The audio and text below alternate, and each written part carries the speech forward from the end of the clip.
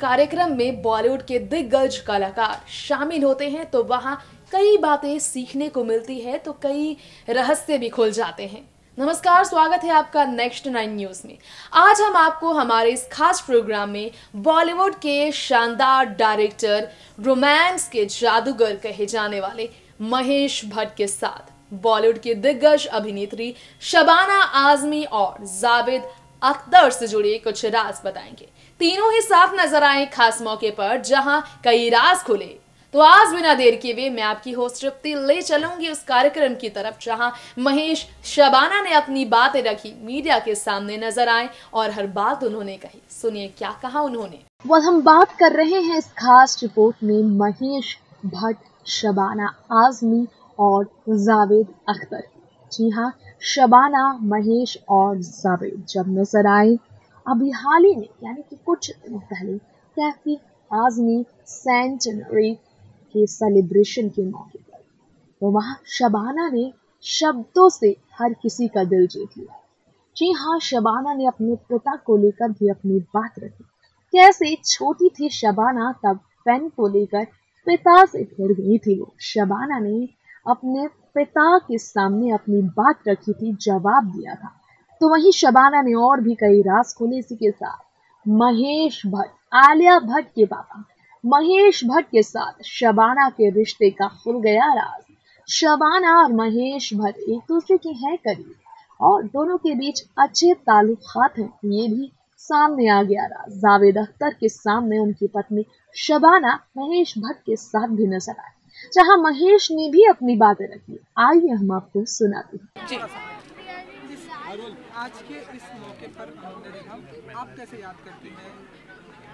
देखिए, मैं जो हूँ इंडिया पेन फेस्टिवल को विलियम पेन को, विशाल सिंह को काके को, जिन्होंने इसको इकट्ठा किया, उनको बहुत मुबारकबाद देती हूँ। क्योंकि आज के दौर में जब सब सिर्फ़ कंप्यूटर इस्तेमाल करते हैं, बच्चे तो भूल भी गए और फिर उसमें बॉल पेन इस्तेमाल कर रहे थे। फाउंटेन पेन कितनी खूबसूरत चीज़ है। और आपकी हैंड ठीक करने के लिए कितना ज़रूरी है। ये पेन फेस्टिवल एक बार फिर हमको री कर रहा है फाउंटेन पेन से। और उसका केंद्र बिंदु अब्बा कैफ़ी आज़मी साहब को बनाया है, क्योंकि ये उनकी हंड्रेड सेंटनरी सेलिब्रेशन हैं और कैफ़ी साहब को मटेरियल चीज़ों से कोई दिलचस्पी नहीं थी। उनको सिर्फ़ अपनी कम्युनिस्ट पार्टी का कार्ड उनकी किताबें और उनके 18 मोबलांग पेन्स थे। बस सिर्फ़ वही उनकी कुलियात जिसको आप कहते हैं उसका ख़जाना था और इन्होंने कैफ़ी साहब को ये ट्रिब्यूट पे किया है। I think it's very befitting and as on behalf of the family I am very grateful thank you आज का ऐसा टाइम आ गया लोग उसी पेन से लिखते हैं कि आमिर खान एंड नसरुद्दीन शाह जैसे एक्टर देश में सम्मान के लायक नहीं है। तो क्या कहना चाहेंगे आप? देखिए ये मायूस नहीं होना चाहिए क्योंकि हमेशा ऐसा होता है कि अटैक किया जाता है। लेकिन जब आप अटैक करते हैं और जब ऐसा लगता है कि रात बहुत अंधेरी है तो समझिए कि सुबह होने को भी है। इसमें जो पेन ये रखा गया एग्जीबिशन कितना ज़रूरी था इस तरह याद किया गया है सौ साल में कैफी कैफी साहब की यादों को हम ताज़ा कर रहे थे। ये एक मौका था कि हम वो सोच जो है, वो जिसको वो सिम्बलाइज करते थे, उसको हम दोबारा याद करके अपने आप को रीडेडिकेट करें। वो जिस किस्म की शख्सियत थी the plural India that he stood for उसकी याद हम आज ताज़ा कर रहे थे। और I think that was the most important thing that we were doing pen fountain pen होते जा रहा था एग्जीबिशन है। क्या कहेंगे इस बारे में भी साहब जुड़े रहते थे फाउंटेन पेन भाई, जो लास्ट इमेज था कैफी साहब का, जहाँ पर वो अपने फाउंटेन पेन्स के साथ खेल रहे हैं, बिल्कुल ऐसे लग रहे थे जैसे बच्चा खिलौनों के साथ खेलता है। वो मासूमियत, वो पाकिजगी, दोबारा कहीं पर हम अपने अंदर जगाएँ because in this age of communication कहीं पर हम एक दूसरे से कट गए हैं। शायद ऐसे, अपना मौके से हम दोबारा इसको रीइग्नाइट कर पाएँ। तीनों हजरात, आदाब बहुत बहुत शुक्रिया कि इतनी जल्दी सुबह में आप सब लोग यहाँ इतनी बड़ी तादाद में आए हैं। मैं आपकी बहुत शुक्रगुजार हूँ। दरअसल जो छोटी छोटी तकरीरें यहाँ हुई तो मुझे ऐसा लगता है कि हमारे अंदर सिर्फ़ जो हम प्रोफेशन करते हैं, वही नहीं, उसके अलावा एक शायर भी होता है। क्योंकि जिस तरह से निखिल रंजन और अनुज पोदार ने अपनी बातें कही तो वो बिल्कुल मुझे ऐसा लग रहा था कि शायरी कर रहे थे। तो thank you for your beautiful words Vishal you have work so hard it has been just a journey of such passion and I know that you been supported by the sponsors by your family and then my daughter Namrata and her team who really work very hard for this thank you very much सिर्फ़ ये तय पाया था कि आज क्योंकि pen festival Kaifi साहब के नाम पर 100 स्पेशल एडिशन पेन्स निकाल रहे हैं तो वो क्यों निकाल रहे हैं, उसकी ज़रा सी बात मैं आपको बताना चाहती हूँ। कैफी आजमी साहब जो हैं, उनको मटेरियल चीज़ों से कोई दिलचस्पी नहीं थी। वो सिर्फ़ एक कुर्ता पजामा पहनते थे, काफ़ी बार ट्रेन से ट्रैवल करते थे, ना उन्होंने कभी घड़ी पहनी, ना कोई अंगूठी पहनी, ना चेन पहनी, उनको मटेरियल चीज़ों से कोई दिलचस्पी नहीं थी। उनको दिलचस्पी थी और जिसको वो वैल्यू करते थे, वो था उनका कम्युनिस्ट पार्टी का कार्ड उनकी पाँच हज़ार किताबें और उनके पेन पेन के मामले में वो सचमुच ग्रीडी आदमी थे। सिर्फ़ फाउंटेन पेन से लिखते थे, सिर्फ़ ब्लैक इंक या ब्लू ब्लैक इंक से लिखते थे और जितनी बार मैं आती थी बाहर से कहते थे, मेरा पेन और मैं कहती थी अब्बा कितने पेन मैं आखिर आपको दे सकती हूँ अब हर बार आऊँगी तो पेन दूँगी and use to take those pens keep them he use to store them in in a wooden Kashmiri box with some filigree. Every now and then he would take those pens out, caress them very lovingly, remove the ink, clean them, put them back again till he could do it. Then after he uh, got paralyzed, I used to help him do that. He used to also send his pen to a pen hospital in New York, which I didn't know. तो मैं बोलती थी अच्छे communist हैं आप। Fountain pen आप New York भेज रहे अट्ठारह मोबलांग पेन्स आपके पास है। तो कहते थे एक अमीर मेरी बेटी और बहुत सारे दोस्त हैं जो अमीर हैं और फिर कर दफ़ा ऐसा हुआ कि मैं जो हूँ मेरे किसी फ्रेंड ने मेरे मुझे एक मोबलांग पेन देखा। तो उन्होंने कहा तुमको क्यों देखा? तुमको क्यों दिया? तुम क्या करोगी इसका? तो मैंने कहा, मैं भी लिखती हूँ पेन से। तो उन्होंने फ़ौरन मुझसे वो ले लिया और फिर मेरे फ्रेंड को एक बहुत खूबसूरत खत और वो भी पोएट्री में लिखा कि वो पेन क्यों उनके साथ ज़्यादा बेहतर है, बजाय मेरे।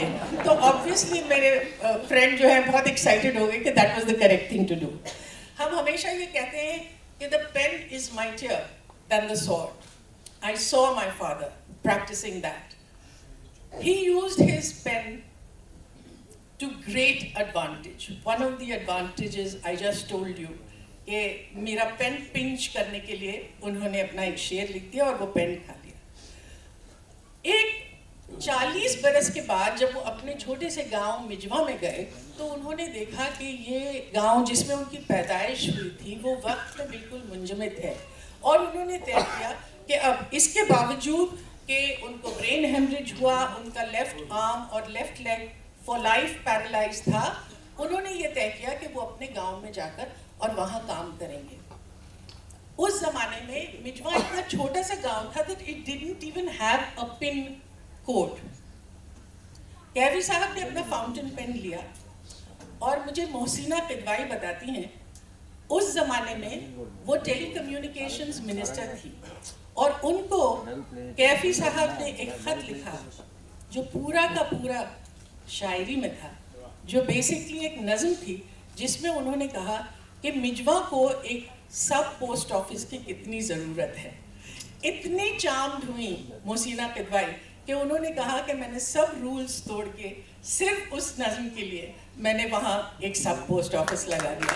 So that is the power of the pen you that all the people who are here, who are recipients of the special edition pen today, are people who've had a very, very beautiful and personal relationship with Kafi Saab, and I'm very grateful to them that they have accepted uh, this pen. I would like to tell you about my friend Bhavna Sumaya.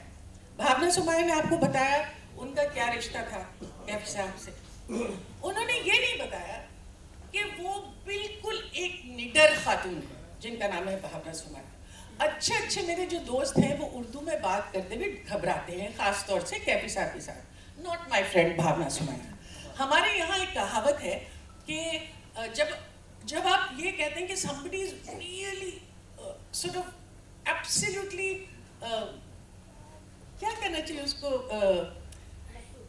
लट्टू हो गया। Supposing कोई लट्टू हो गया किसी पे तो वो कहते थे कि देखिए इनको जो है ना उल्लू का गोश्त खिला दिया है। ये है कहा ये है मुहावरा ऑब्सेस्ड हो गए। तो आपके जो फ्रेंड विनोद खन्ना हैं, वो उस जमाने में रजनीश के यहाँ चले गए थे। तो भावना जी बैठी हुई इंतहा कॉन्फिडेंस से कैफी साहब के साथ कहती अब मुझे ऐसा लगता है कि विनोद खन्ना को रजनीश ने आलू का दोस्त खिला दिया है। और इनको कोई तकल्लुफ नहीं हुआ कि मैं गलत जबान बोलती हूँ तो इनका ये खास रिश्ता था और इसलिए ये बहुत ज़रूरी था कि आज का ये फ़ंक्शन ये कंपेयर करें thank you very much for coming please for the AV to be sure thank you There was a kind of a roaring silence that I heard in him.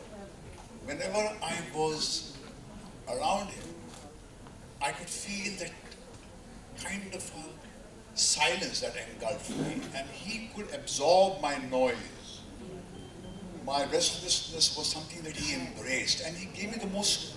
See, the, the attention is the most generous gift that your human being can give to another human being. When you are down there struggling and looking for a place in the sun, he had those eyes, he had that generosity to see in me something which the world could not see or did not want to see or did not have the ability to see. He had the silence because he was not full of himself. He was looking at life. He was drinking from the wells of tomorrow. And I represented that to him. And whenever I walked in, he smiled. He saw what I could detect him in Pritish's translation. Wherever he saw a spark of rebellion, wherever he saw audacity, he saw with audacity vulnerability also because he could feel that this person who's being audacious is being very vulnerable. He'll be trampled upon, he'll be spat upon. And he, his hands reached out to protect me. And for me, that was Kaifi Saab. For me, the defining image of Kaifi Saab is when the history of this nation changed post the Babri Masjid demolition. He was in Janki Kutir one evening, and I was worried about him. And I remember going there to see him. He was there in the lawns. There was the sunlight, he was backlit, and there was his paraphernalia of his team that was there. He sat down with a kind of a sadness which you normally see in the church on the face of Jesus. And that was courage for me. When everybody was rolling his window and locking his door, here was the icon called Kafi Azmi, who was the heartbeat of India, who represented the plurality, who said, I will sit down here in my lawn without raising the walls. That ability to be trampled upon for what he stood for was courage for me. That was living, palpable courage for me. And that is what Kaifi Saab means to me. The audacity, he was an embodiment of audacity. So don't trivialize the persona of that man by calling him a poet. A poet is just one dimension of him. His essence was like life. You can't put a full stop on life. You can't put a full stop on Kafi. He is much bigger than the definition that we seek out to give to him.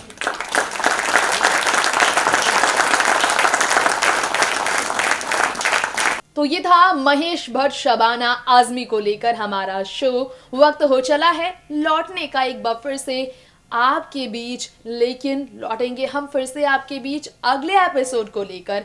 तो इस programme का करते हैं दी and तब तक के लिए देखते रहें बॉलीवुड की हर खबर नेक्स्ट नाइन न्यूज़ के साथ और इस चैनल को सब्सक्राइब करना बिल्कुल ना भूलें। नमस्कार।